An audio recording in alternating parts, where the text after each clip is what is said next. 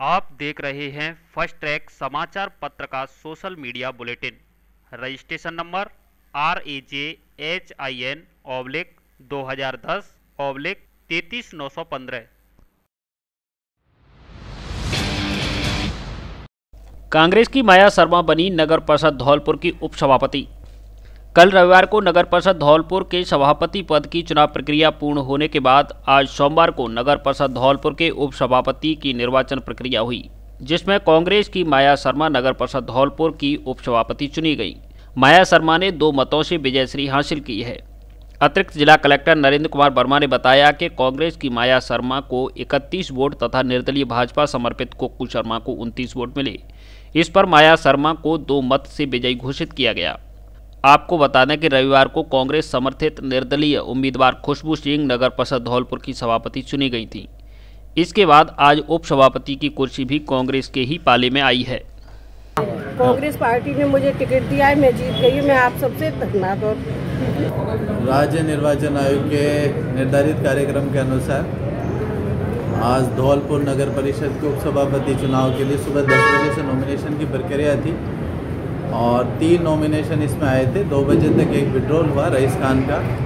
इसके बाद ढाई बजे से काउंटिंग हुई। काउंटिंग में माया माया देवी को इकतीस, माया जी को इकतीस वोट मिले हैं। और उनके निकटतम प्रतिद्वंदी कुक्कू शर्मा, उनको उनतीस वोट मिले इसी प्रकार से बाड़ी नगर पालिका के उपाध्यक्ष पद के लिए अहमद जमा खान निर्विरोध रूप से उपाध्यक्ष के लिए निर्वाचित हुए इसके अलावा राजा खेड़ा में दो कैंडिडेट जो फाइनल हुए थे, उनके नाम इसमें भारती और दुशासन, जिसमें भारती भारती को 22 वोट मिले हैं और वो विजयी रहे।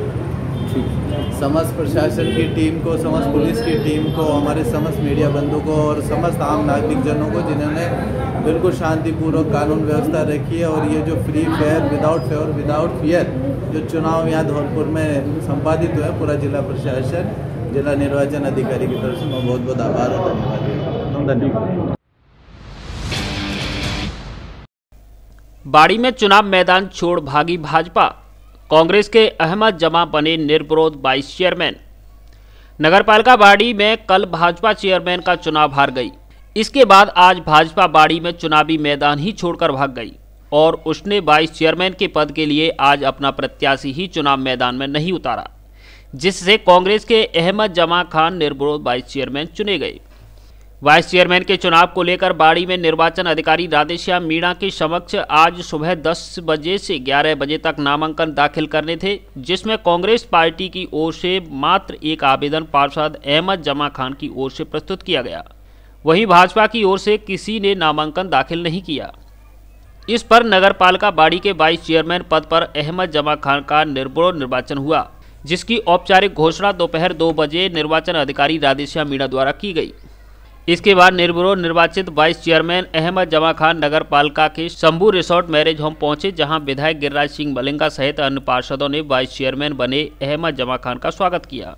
उसके बाद अहमद अपने समर्थकों के साथ बाड़ी के मुख्य बाज़ार होते हुए अपने निवास पहुँचे, जहाँ रास्ते में और बाढ़ में जगह जगह हार माला साफा पहनाकर जोरदार स्वागत किए गए। आपको बता दें कि अहमद जमा खां वार्ड नंबर तीन से पार्षद पद पर भी निर्भोर निर्वाचित हुए थे। निर्भोर निर्वाचन से अहमद जमा खां के समर्थकों व मिलने जुलने वालों में खुशी का माहौल है और बधाई देने वालों का सिलसिला बना हुआ है। इस मौके पर वाइस चेयरमैन अहमद जमा के साथ बाड़ी विधायक गिरिराज सिंह मलिंगा, चेयरमैन कमलेश जाटव, जिला कांग्रेस कमेटी के महामंत्री मुश्ताक अहमद, चेयरमैन प्रतिनिधि होतम सिंह जाटव, पार्षद राजकुमार भारद्वाज, नजीर खान, मानवाधिकार प्रकोष्ठ के पूर्व बाड़ी नगर अध्यक्ष मलिक जावेद खान, पार्षद जिबरान आबिद अली खान, आयशा बेगम, पूर्व पार्षद जुबेर अहमद रिजवान अहमद पार्षद प्रतिनिधि राजवी जाटव नासिर खान सहित काफ़ी संख्या में लोग उपस्थित रहे। मैं मजमा खां वार्ड नंबर तीन से निर्विरोध पार्षद और आज निर्विरोध उपाध्यक्ष बाड़ी की चुना गया हूँ जो बाड़ी के गिरिराज सिंह मलिंगा जी एम साहब के प्रयास से और बाड़ी की जनता से जिनने मुझे बहुत ही प्यार और उससे सम्मान से बनाया है धन्यवाद। तो उसके बारे में तो जनता पूछे वो ज़्यादा ठीक है। नहीं नहीं। कहने के लिए कुछ बीजेपी के पास बच्चा तो है नहीं। विधायक लोकप्रियता का परिणाम है हर- ये। हर जगह- हर जगह हर जगह ये लोग हार रहे हैं। और भाग्य बाद में इनका प्रदेश अध्यक्ष कहता है कि हम जीते हैं। उनका पता ही नहीं है कि वो क्या बोलते क्या कहते। बीजेपी में एक दर्जन तो मुख्यमंत्री के दावेदार हैं। उनकी आपस की लड़ाई इतनी है कि वो खुद ही नहीं मिटाई पा रहे हैं। जनता ने पूरे बहुमत से पूरे ज़िले में कांग्रेस को जिताया, पूरे ज़िले की जनता को मैं बहुत बहुत धन्यवाद देता हूँ। और जो भी है वो धन्ना, वो का नाम है, जनता और कार्यकर्ता, उन्हीं की जीत है, उनको पूरा सरा जाता है। कांग्रेस की भारती बनी राजाखेड़ा की वाइस चेयरमैन। नगरपालिका राजाखेड़ा में आज वाइस चेयरमैन के लिए मतदान हुआ, जिसमें रिटर्निंग अधिकारी ब्रजेश कुमार मंगल की मौजूदगी में चुनाव प्रक्रिया संपन्न कराई गई। वाइस चेयरमैन पद के लिए भाजपा की ओर से वार्ड नंबर 15 के पार्षद दुशासन कुशवाहा और कांग्रेस की ओर से वार्ड नंबर 25 की पार्षद भारती प्रत्याशी रहीं। जिसे लेकर पुलिस की मौजूदगी में मतदान प्रक्रिया पूर्ण कराई गई। मतदान के दौरान दोनों ही पार्टियों की ओर से सभी पार्षदों को बड़ी सुरक्षा व्यवस्था के साथ नगरपालिका लाया गया। इसके बाद मतगणना हुई, जिसमें कांग्रेस की भारती को 35 मतों में से 22 मत मिले और भाजपा के दुशासन को मात्र तेरह मत ही मिल सके। इस पर भारती को नौ मतों से विजयी घोषित किया गया। रिटर्निंग अधिकारी ने नवनिर्वाचित अध्यक्ष वीरेंद्र सिंह जादौन व वाइस चेयरमैन चुनी गई भारती को पद और गोपनीयता की शपथ दिलाई तथा प्रमाण पत्र दिया।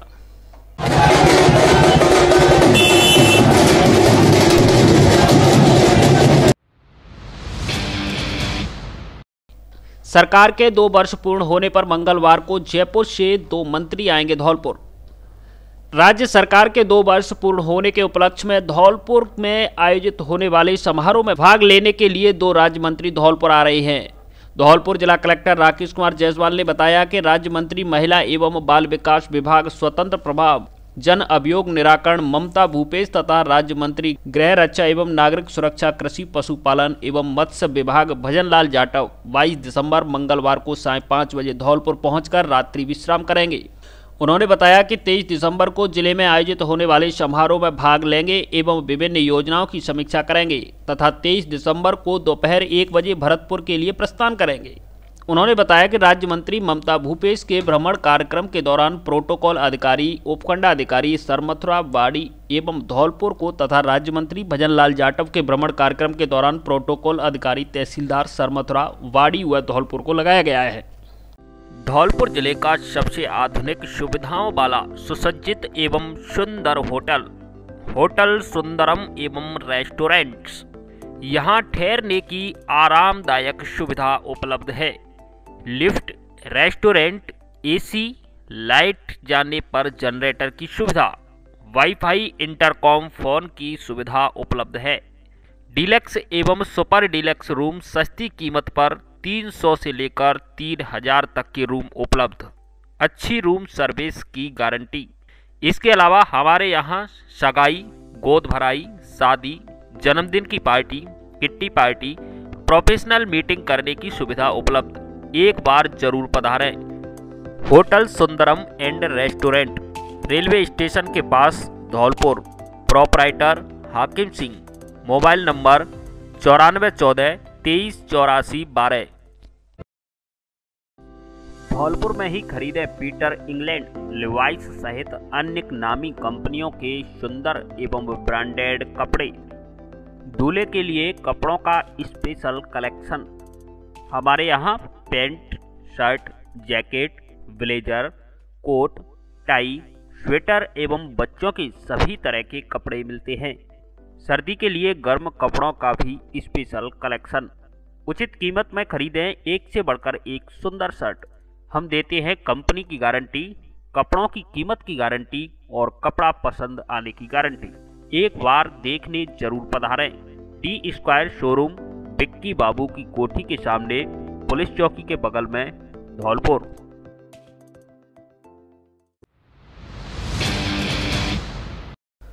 धौलपुर शहर की कई कॉलोनियों में व कई गाँवों में मंगलवार को ढाई घंटे बंद रहेगी बिजली। 220 केवी जीएसएस धौलपुर पर रख रखाव एवं मरम्मत कार्य होने के कारण 22 दिसंबर मंगलवार को ढाई घंटे बंद रहेगी बिजली। विद्युत निगम धौलपुर के अधिशासी अभियंता ने बताया कि 220 केवी जीएसएस धौलपुर के 11 केवी फीडर नंबर एक के हाउसिंग बोर्ड कॉलोनी एवं आनंद नगर, फीडर नंबर दो के Anand Nagar Jagdamba colony, Saipau road, Jagdish talkies, Ramkunj, Ayodhya Kunj Manohar Vihar colony एवं मधुबन कॉलोनी, फीडर नंबर तीन के भोगीराम कॉलोनी, फीडर नंबर चार के गुरुद्वारा रोड एवं जिला अस्पताल, फीडर नंबर पाँच के चावनी नवोदय, केसरबाग, पॉलिटेक्निक महाविद्यालय एवं हिनौता का पुरा तथा फीडर नंबर छः के पचगांव, आदर्श नगर, रूंद एवं भागीरथपुरा क्षेत्रों की बिजली 22 दिसंबर को प्रातः 9 बजे से साढ़े ग्यारह बजे तक बंद रहेगी। धौलपुर में 24 दिसंबर को लगेगा एक दिवसीय ऑनलाइन रोज़गार मेला। जिला रोज़गार कार्यालय धौलपुर द्वारा एक दिवसीय ऑनलाइन रोज़गार मेले का आयोजन 24 दिसंबर को किया जाएगा। जिला रोज़गार अधिकारी रघुवीर सिंह मीणा ने बताया कि मेले में भाग लेने के इच्छुक बेरोजगार युवाओं को एनसीएस पोर्टल पर रजिस्ट्रेशन कराना होगा। रजिस्ट्रेशन कराते समय किसी प्रकार की समस्या के लिए टोल फ्री नंबर अठारह डबल ज़ीरो बयालीस इक्यावन इक्यावन चार पर संपर्क किया जा सकता है। उन्होंने बताया कि 24 दिसंबर को इच्छुक बेरोजगार युवा विभाग की साइट पर जाकर ऑनलाइन जॉब फेयर में भाग ले सकते हैं। कलेक्ट्रेट में ज़िले की प्रभारी सचिव ने ली अधिकारियों की समीक्षा बैठक। उच्च व तकनीकी शिक्षा सचिव तथा धौलपुर ज़िले की प्रभारी सचिव सुची शर्मा ने सोमवार को जिला कलेक्ट्रेट सभागार में समीक्षा बैठक ली। बैठक में उन्होंने राज्य सरकार के दो वर्ष के कार्यकाल की समीक्षा करते हुए कहा कि धौलपुर ज़िले ने राज्य में कई कार्यों में प्रथम स्थान प्राप्त कर उल्लेखनीय प्रगति की है। उन्होंने चिकित्सा एवं स्वास्थ्य, कृषि सार्वजनिक निर्माण, विद्युत, जलदाय, शिक्षा, रसद, सामाजिक अधिकारिता, महिला एवं बाल विकास, रीको, जिला उद्योग केंद्र आदि समस्त विभागीय अधिकारियों को संबोधित करते हुए कहा कि अधिकारी इस प्रकार से काम करें कि आमजन को सरकार की योजनाओं का लाभ वास्तविक रूप से जरूरतमंद तक पहुँच सके। प्रभारी सचिव ने उप निदेश कृषि विस्तार को मशरूम के उत्पाद पर विशेष रूप से ध्यान देने के संबंध में निर्देश दिए। जिला उद्योग केंद्र व रीको के अधिकारियों को वर्तमान में विकसित औद्योगिक क्षेत्र में उद्यमियों को आवश्यक सुविधाएँ मुहैया कराने की उनकी समस्याओं का निराकरण करने के निर्देश दिए। बैठक में जिला कलेक्टर राकेश कुमार जायसवाल ने सरकार की फ्लैगशिप योजना, प्रधानमंत्री बजट घोषणा एवं विभागीय योजना की विस्तार से जानकारी देते हुए कहा कि जिला प्रगति की ओर अग्रसर है। ज़िले में door to door pension, ration card की आधार शेडिंग व नीति आयोग के विभिन्न पैरामीटर्स में उल्लेखनीय प्रगति की है। बैठक में उपखंड अधिकारी शेपो परशुराम मीणा, मुख्य चिकित्सा एवं स्वास्थ्य अधिकारी डॉक्टर गोपाल प्रसाद गोयल, प्रमुख चिकित्सा अधिकारी समरवी सिकरवार, आयुक्त नगर परिषद सौरभ जिंदल, मुख्य जिला शिक्षा अधिकारी सियाराम मीणा, अधीक्षण अभियंता विद्युत बी एल वर्मा, अधीक्षण अभियंता जलदाय ऋषि कुमार उप निदेशक सामाजिक न्याय एवं अधिकारिता विभाग रामरज मीणा तथा उप निदेशक महिला एवं बाल विकास भूपेश गर्ग सहित अन्य अधिकारी मौजूद रहे। तीन सूत्री मांगों को लेकर पटवारियों ने शहर में निकाली मूक रैली। राजस्थान पटवार संघ के बैनर तले आज धौलपुर ज़िले भर के पटवारियों ने शहर में मूक रैली निकाली। इसके बाद सभी पटवारी कलेक्ट्रेट पहुँचे, जहाँ प्रधानमंत्री के नाम जिला कलेक्टर राकेश कुमार जायसवाल को तीन सूत्री मांगों को लेकर ज्ञापन सौंपा। ज्ञापन में पटवारियों ने पटवारी की वेतन विसंगति सुधार के लिए पूर्व में हुए समझौते एवं पटवारी के कार्य की बहुआयामी राजस्व प्रशासनिक तकनीकी प्रगति के मद्देनजर रखते हुए ग्रेड पर 3600 करने एसीपी योजना के अंतर्गत 9, 18, 27 वर्ष की सेवा अवधि के स्थान पर 7, 14, 21, 28, 32 की सेवा अवधि पूर्ण करने पर चयनित वेतनमान को लाभ देते हुए पदोन्नति पद का वेतनमान देने की मांग की। साथ ही संगठन के साथ पूर्व में हुए सभी समझौतों एवं संगठन द्वारा समय समय पर प्रेषित ज्ञापनों का निस्तारण करने की मांग की है। साथ ही पटवारियों ने चेतावनी दी है कि यदि सरकार ने उनकी मांगें नहीं मानी तो 9 जनवरी 2021 को सांवलिया चित्तौड़गढ़ में उग्र आंदोलन किया जाएगा। ज्ञापन देने वालों में जिला अध्यक्ष रामनिवास, गेंदालाल त्यागी, हरविंदर सिंह मीणा गजेंद्र, प्रयागराज मीणा, विद्याराम संदीप शर्मा आदि धौलपुर ज़िले के पटवारी शामिल हैं। सरकार के साथ राजस्थान पटवार संघ का 2018 में एक समझौता हुआ था, जिसके अंतर्गत पटवारी क्या है, अल्प वेतन भोगी है, उसका ग्रेड पे छत्तीस सौ करने के लिए सरकार ने आश्वासन दिया था और लेकिन वो उस जो समझौता हुआ था, उसमें से दो तीन बिंदुओं को छोड़कर अभी तक किसी बिंदु पर कोई भी सरकार द्वारा कोई भी एक्शन नहीं लिया गया है। तो पटवार संघ ने एक प्रदेश महासमिति का आयोजन किया और उसमें सत्याग्रह के रूप तरीके से ऑल राजस्थान में आंदोलन करने का शुरू किया है। जिसी के अंतर्गत आज दिनांक को एक मूक रैली का आयोजन इस जिला मुख्यालय पर किया गया है। माननीय जिला कलेक्टर महोदय को अपना हम ज्ञापन सौंपेंगे। अभी मांग पत्र है उसमें और यही है बस। संघ के बैनर के तले मूक रैली का आयोजन कर रहे हैं। इसकी मेन जो अपन की मांग है वो पटवारियों का ग्रेड पे छत्तीस सौ किया जाए और जो हमारा स्लिप था नौ अठारह सत्ताईस उसको हटा के सात चौदह इक्कीस अट्ठाईस और बत्तीस के हिसाब से हमें स्लेबों में बांटा जाए। यही हमारी मेन जो छत्तीस सौ ग्रेड पे और इसके ऊपर आज हमने एक मुख्य रैली आयोजन किया है जिसका मेन उद्देश्य सरकार का ध्यान आकर्षण है कि सरकार हमारी और हमारी मांगों के ऊपर ध्यान दे। नाम क्या आपका? देवव्रत मीना।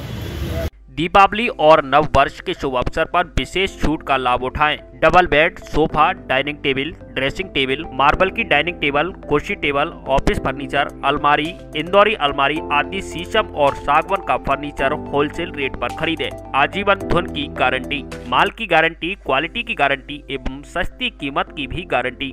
आगरा और ग्वालियर से भी सस्ता, सुंदर और टिकाऊ फर्नीचर। एक बार शोरूम पर ज़रूर पधारें और विशेष छूट का लाभ उठाएँ। फर्नीचर पसंद आने की भी गारंटी। कोरफोम गद्दे के डिस्ट्रीब्यूटर कोरफोम के गद्दे पर भी भारी डिस्काउंट। कोई भी पुराने गद्दे लाओ और नए गद्दे ले जाओ, तथा साथ में निश्चित उपहार भी पाओ। पता front line home furniture, showroom, value plus building 132 K V बिजली घर के सामने, Bari road, Dholpur. Proprietor Akash Agarwal. Mobile number आठ दो तीन नौ दो तीन एक एक चार सात।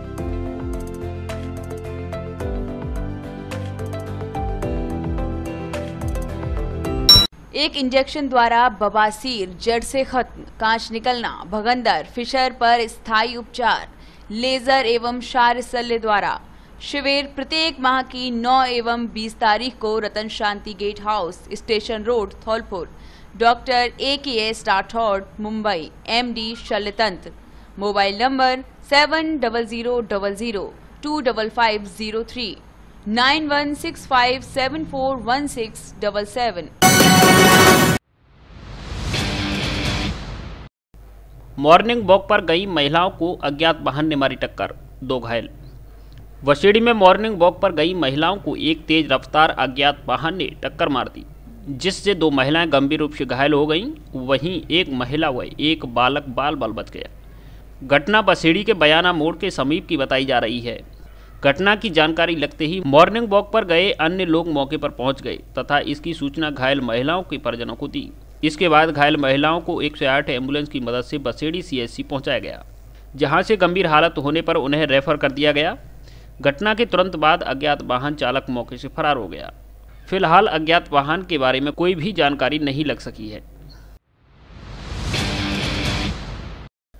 जवाहर नवोदय स्कूल धौलपुर में प्रवेश आवेदन की अंतिम तिथि बढ़ाई।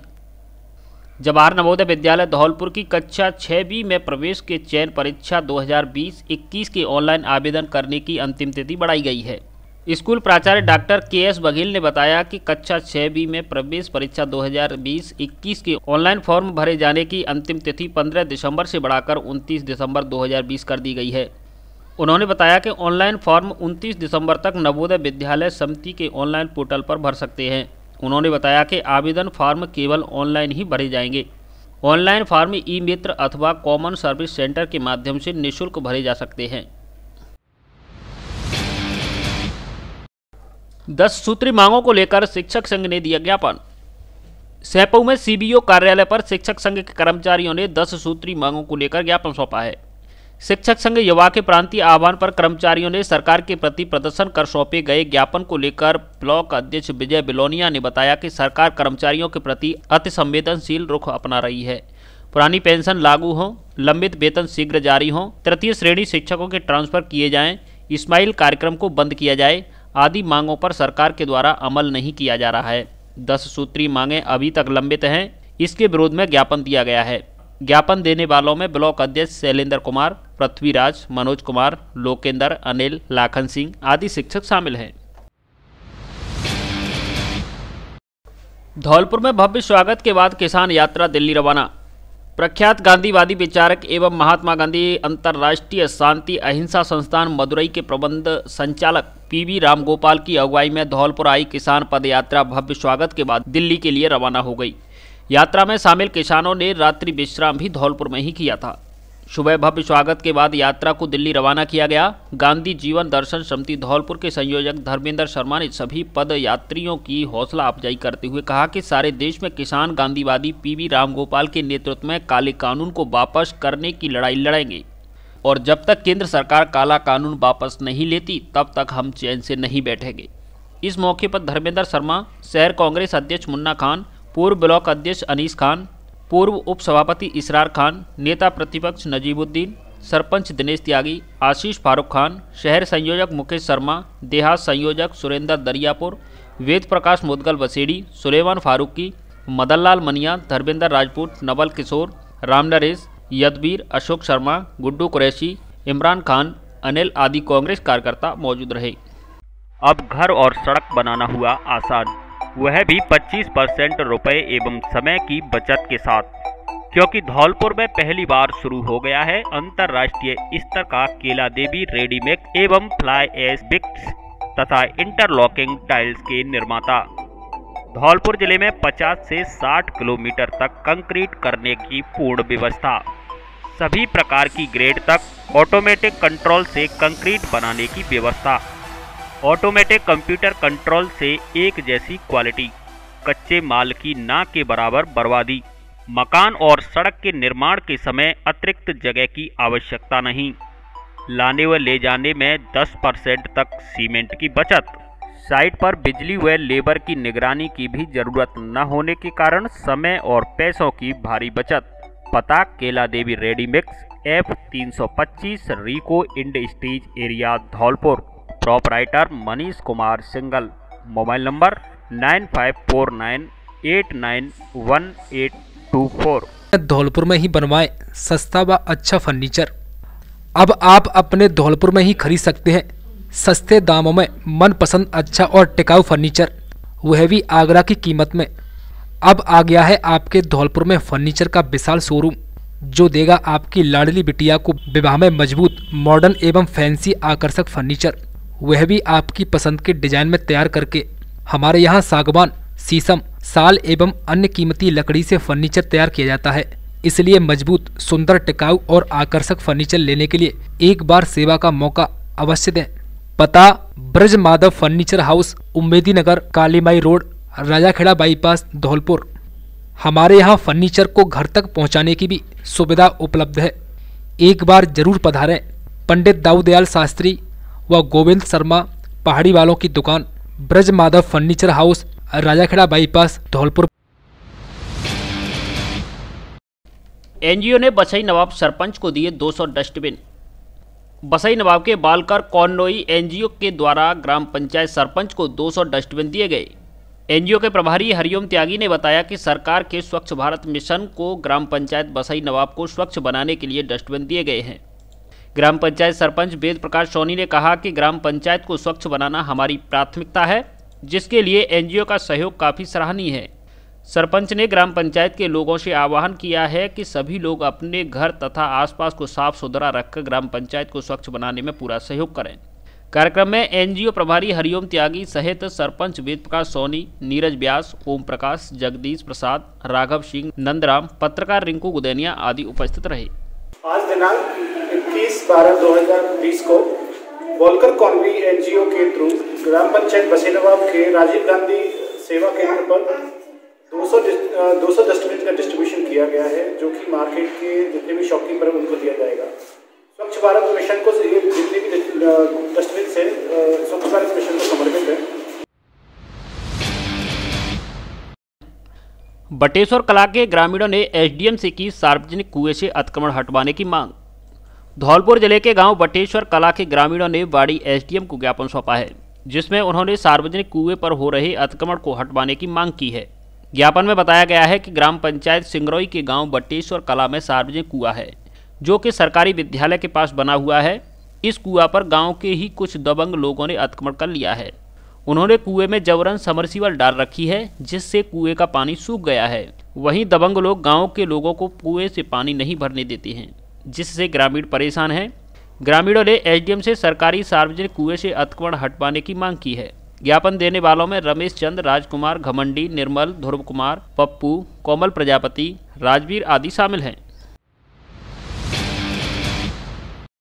जागरूकता सत्र में ग्रामीणों को बताए बचत व निवेश के तरीके।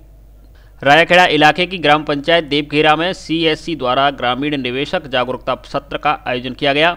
इस अवसर पर एसबीआई बैंक राजाखेड़ा की शाखा प्रबंधक विष्णु कुमार ने कहा कि ग्रामीण बैंक खाते में रकम जमा कर बचत कर सकते हैं। बैंक के माध्यम से अटल पेंशन योजना, प्रधानमंत्री सुरक्षा बीमा योजना, प्रधानमंत्री जीवन ज्योति बीमा योजना में निवेश कर सकते हैं। इन योजनाओं में निवेश करने में पेंशन, बीमा का लाभ और बचत भी कर सकते हैं। ग्रामीणों को डिजिटल बैंकिंग के उपयोग लाभ और सावधानियों के बारे में बताया।